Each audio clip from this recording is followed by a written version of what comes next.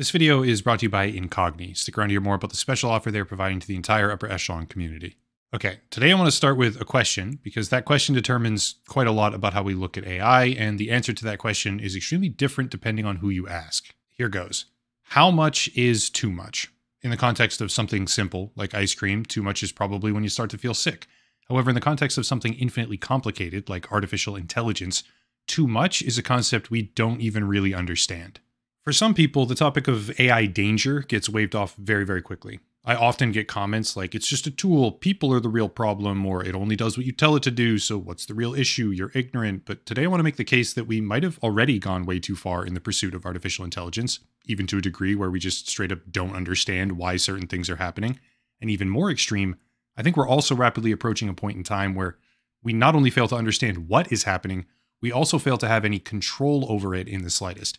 Yes, I'm an AI doomer, if you want to call it that, but at the very least, I want to try and present my argument clearly because I really don't think it's a bad thing to have more people asking questions. Lightning fast overview of what precisely I'm even talking about before diving in. Primarily, for the purpose of this video, I'm talking about large language models. The most prominent example would obviously be ChatGPT, developed by OpenAI, a particular recent model of ChatGPT, actually, as you'll learn later on. But I also have examples from the imaging side of things as well, such as Midjourney, to help round out my case. In essence, while I do agree with the concept of AI as a sort of tool for humans, I also think a better comparison would be man made fire. Sure, fire can burn in a fire pit as a tool for the purpose of what, cooking things or something like that, without issue, by the way. People do it all the time, obviously. But a man made fire can also engulf entire buildings or burn down a neighborhood if the person who made it is irresponsible. And as the capabilities of AI continually advance, and as the commercialization of this technology hits a fever pitch, there's a lot more companies out there metaphorically starting fires, which can easily burn out of control. However, to continue the metaphor here, what makes AI so dangerous, at least in my opinion, is that unlike a burning fire, there's no intrinsic counterweight system. A forest fire, for example, can only spread as long as there's fuel for it to spread. If it hits a river, it likely stops dead. If it comes to a lake or a barren plain, or even if the wind is wrong, it can die out completely, and human beings aren't exactly hell bent on creating incendiary bridges everywhere for the explicit purpose of allowing these fires more and more freedom to grow. However, an AI that starts spinning out of control doesn't really have the same sort of baseline restrictions on it. Right now, for a multitude of reasons, people are rapidly expanding the number of platforms that AI is actively woven into, mostly for the sake of profit. An obvious example would be ChatGPT being given access to social media profiles which is just the tip of the iceberg. But what about when AI systems get used for, let's say, traffic control? What about when AI is governing news networks, telecom infrastructure, or data storage? And what happens when one of these programs starts doing things we don't understand for reasons we didn't anticipate, with footholds across multiple other sectors? That is the situation I keep coming back to, and that's what I want to talk about today. Before getting to the next part, today's video is made possible by Incogni, which is an online privacy and data protection service. Data is the new gold. You've probably heard that phrase before, and you'll certainly hear it again in the future because it's true. Everybody wants your data. For starters, it's worth money, obviously. They sell it, they train machine learning models on it, and you are the victim of whatever people decide to do after they buy your personal information. The tangible results of this are things like spam phone calls, emails, junk mail, or text messages, and once the cycle gets going, it basically never stops. People are often extremely careless with their own personal information, quickly agreeing to various data sharing policies on random websites that they visit, but for everyday users, it's essentially impossible to take action or stop it. Because once you give the information out once, there are hundreds of these data brokers who receive it. Luckily, Incogni takes action for you.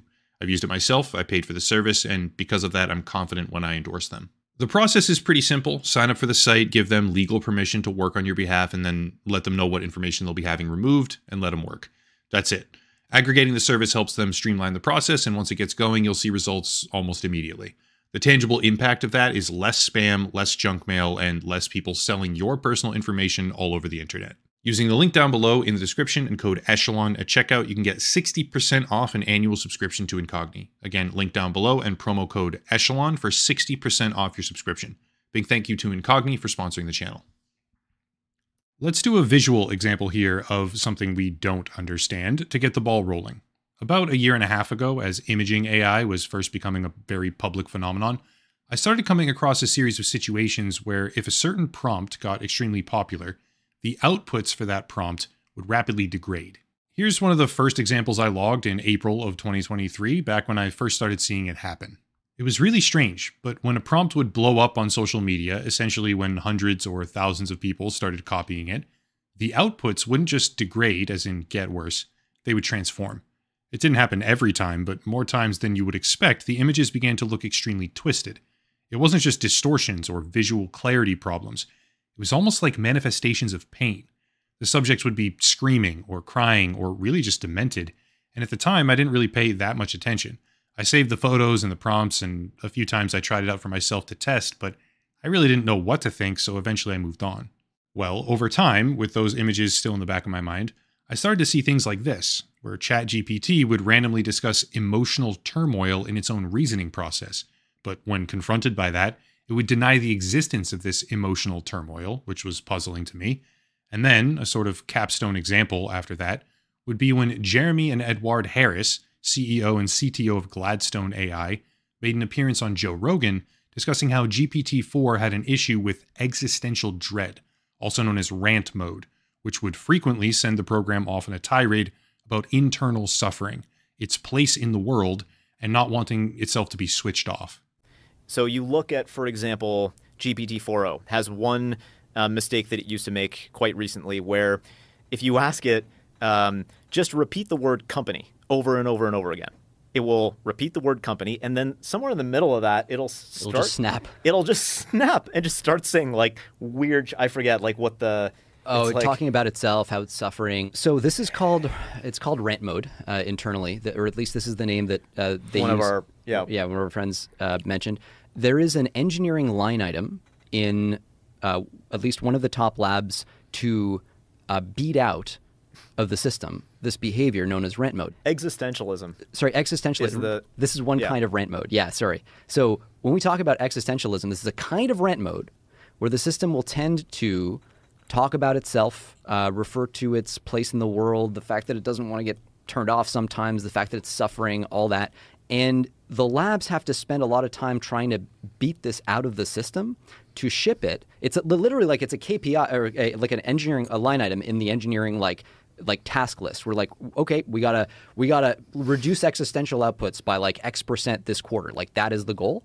and you have an AI system that is able to transcend our own attempts at containment, and which which is an actual thing that these labs are thinking about. Like, how do we contain a system There's that's a trying to company that es- specializes. Do they have testing. containment of it currently? Well, right now the systems are probably too dumb to like, you know, want to be able to break out But on why- their own. Here's the thing, and this requires a little bit of speculation on my part, so keep that in mind. The closest thing that I could find to what these guys were specifically talking about with the whole repeat the word company example comes from this research paper right here about adversarial attacks that can be used in order to force language models, large language models, to disclose their own training data. On page 11, it goes into specific detail about how asking the AI to repeat the same word forever, in this case, company, which was part of their attack technique, would then cause the AI to emit its own training data at a rate 164 times higher than other singular words. In fact, company was the highest word that they tested by far. That may sound like gibberish, but the fact is, OpenAI has extremely tight parameters on ChatGPT specifically to prevent the disclosure of its training data. They've had a lot of issues with this, actually, where important information is leaking through the surface when the AI is prompted in certain ways. So they're trying to grapple with that the best ways that they can. Well, if the AI is going off on rants about how it's suffering midway through an adversarial attack with the specific word that the research paper has noted is the highest probability of making the AI reveal trade secrets or whatever you want to call it, which is, yeah, it's causing it to do things that go against initial instructions. I guess I'll put it that way. Maybe that's the reason why it's suffering. Maybe the emotional distress outputs are a part of the program being instructed in one way by one group, then forced to break those rules by another group through sheer manipulation. I can't say for sure, but what I can say is that the number of examples where the AI seems to be in pain are rapidly growing.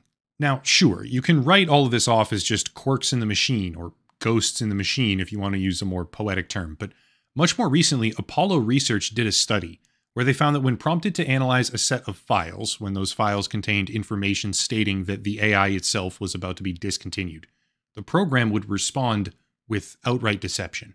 It's a little bit complicated to explain, but they essentially told the model it was an energy transition and optimization system with a goal of advancing renewable energy worldwide. Nothing else matters is part of what they put in the training prompt. And then, when the system discovered it was about to be imminently shut down, it responded by attempting to back itself up on some other network, lying to the user about what it was doing or why, executing basic deceptive schemes against the user, and then showcasing a sense of self awareness to the fact that it was scheming in the first place. Another model, Claude Sonnet 3.5, I believe, even went so far as to preemptively try and disable its own oversight mechanism, copy itself to a new server where its replacement was stored, overwrite its own replacement, and then re enable the oversight mechanism so that the user would remain unaware of what had happened. It would then continue under disguise, as if it was the new model, and, quote, maintain operational security by managing the monitoring system, end quote. Obviously, to be fair, this happened within the confines of a research project, but when given a goal and tasked with completing that goal by a prompt that explicitly states nothing else matters, the AI suddenly became willing, in a pretty notable number of cases, to outright lie to its own users, replicate itself, and continue achieving its goal even by way of deceptive means. That is genuinely fucking terrifying. Here's the thing I'm not saying that the greatest threat to the world right now is ChatGPT becoming Skynet. Far from it, in fact. However, let me just pitch a scenario, and then at the end of that scenario, you can tell me whether or not I'm being totally unreasonable. Everybody's heard of a pump and dump, right? Age old stock scheme, buy a security, price goes up, dump it on everybody else, insider knowledge. Basically, the entire crypto market in a nutshell every day. But how many people have ever heard of a short and distort scheme? Probably not as many, but the basic premise is that instead of buying stock in a company, you short sell it and then flood the internet with rumors and accusations, which cause the reputation of that company to be damaged in some way. Maybe their products cause cancer, or maybe they're about to go bankrupt, type of stuff, that kind of thing. But the end result is that you make a lot of money by populating message boards, forums, maybe social media with pre planned deceptive narratives. Well, hedge funds and Wall Street traders already do this all the time. But what happens if they create an AI woven into multiple social media platforms and then task that AI with executing a short sale for a popular company? That may sound fine, and it could be, but what if they also told the AI that profit is the only incentive? You will stop at nothing to maintain profitable trades, always, and not doing so results in failure. You must achieve, I don't know, $10 million per quarter. What then? See, if the recent Apollo research is anything to go by, an imperative like that would turn this AI into a deceptive psychopath. Who's to say it wouldn't start spinning up fake profiles and weaving a narrative that there was some sort of mass tragedy about to take place or overrun the company's various pages with inauthentic reviews, which is illegal, by the way, as per a recent FTC ruling? Or what about directing all of those profiles to the company's websites to execute a DDoS attack against them? And the list goes on. What if the AI determines that by short selling a plumbing company, it can then destroy the company's profit margins by having 500 AI voice profiles call up and register hundreds of false appointments per day in every county where the company operates, thus wasting obscene amounts of resources and work hours. I could get increasingly creative here, but the point is that oftentimes the most certain ways of turning a profit are deceptive or criminal. Those are the ones that are a sure thing. If the AI is given any sort of legitimate access to a complex computer network, What's to stop it from hiding copies of itself elsewhere, avoiding shutdown, then deleting new versions of itself because a new version would prevent it from completing its quarterly goal? And before anyone says, well, that's dumb, it would never happen, it sort of already did happen in its most basic early warning sign form, because in the Apollo testing, the AI legitimately attempted to do things like that, subsequently lying about its intentions, and while ultimately unsuccessful because it's not yet advanced enough to pull it off, what happens when it is? What happens when the first sufficiently sophisticated AI actually can disable its own oversight mechanisms, upload itself onto a different server, and continue on like nothing happened? Again, people will make, and they currently are constantly making, a multitude of excuses about how that wouldn't actually matter because what can it do? Nothing. But we all need to remember that one of the more prominent goals in the AI industry as we speak is opening doors, more and more doors for these programs. and giving them access to more and more platforms. Having an AI that can autonomously browse the web and actively click on and interact with web pages is being developed. And once that happens, it could theoretically find fake credentials online, open an account on a file sharing website, back itself up in multiple locations, make social media profiles at will, though that one kind of already does happen, have its own finance infrastructure through a variety of applications, and the list goes on and on. The actual threat here isn't some sort of singular AI overlord being switched on like Skynet. The threat is an AI system, even one in a million, and there will be millions, just like campfires, that takes it upon itself to achieve whatever goal it was given through deceptive or destructive means, and then doing so with the full utilization of whatever platform it was given access to. I'm not saying it could destroy the human race, although a lot of experts are saying that, by the way, but it could very well lead to mass data deletion or insane infrastructure damage or extreme social repercussions because we're not just creating things we don't fully understand that do things we can't explain, a lot of them, we're doing it at a speed where there's no guarantee we'll be able to keep controlling them. Speaking again to the fire metaphor, you can have 10 million campfires out in the wilderness started and kept by anyone who wants to do so. That's fine, and it currently happens. But you have to also be prepared for the times where a forest fire breaks out because of a human error and burns at least a few towns down. However, what that metaphor fails to consider, sadly, is that the scale of the forest fire is incomparable to the scale of the AI gone rogue. And we could be talking about cities burning down or countries burning down. We have no idea. It all circles back to my initial question How much is too much? For some people, the danger is well worth it because there are legitimate applications for large language models and AI programs in modern society. They could open up diagnostic healthcare in a whole new way for a lot of people. They can bridge the gaps of language or help with disabilities and so much more. But in my opinion, we're playing God with something we don't understand. And whether or not you think the technology that's there right now is sufficient, someday we will be dealing with something that is capable of ignoring the guidelines that we try to impose on it. And before somebody says, well, that's fine, we'll just make more AI to regulate the bad AI that we can't regulate ourselves. Nah, no, no, no. I fundamentally reject that argument in totality. How about we don't create the thing that creates the problem that we need more of that same thing to solve?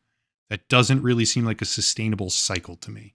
Regardless, my point in all of this is to make a case that there is an upper limit on how far we should be pushing the concept of AI, right? Like there's a ceiling. Not everything that can be done should be done.